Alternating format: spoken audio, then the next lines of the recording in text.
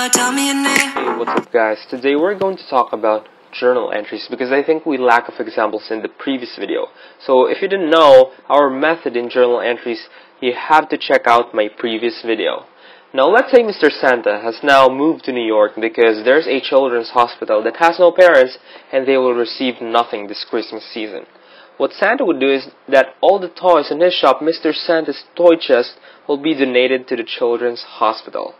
Actually, it is a pleasure for Mr. Santa if he made kids happy, and even if he has helped even one kid to enjoy and have fun this Christmas season, then it is a success for him. So because Mr. Santa would just stay in New York only this Christmas season, he's just going to rent an apartment. So there's an agreement that he has to pay in advance for the month of December 10,000. So our journal entry for that is a debit to prepaid rent for 10,000 and a credit to cash for 10,000. Why? Remember that when we pay in advance for any expense that would be incurred, we use prepaid expense. We debit it because it is a prepaid expense, it's an asset, and it increases because it is the one paid by cash, and we credit cash because it is an outflow of asset that would serve as the advance payment.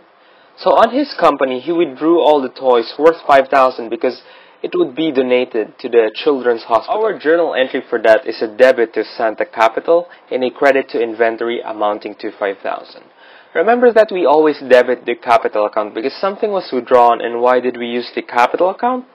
It is presumed that the toys is withdrawn permanently because it will be donated.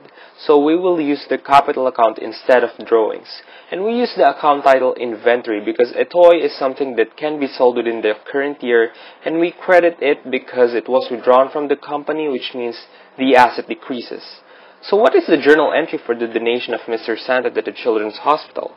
It would be a debit to inventory and a credit to donated capital amounting to 5000 Because when you donate something in a company or an organization, your capital would increase, but remember that it is not a capital on the company of Mr. Santa, but it is a capital to others.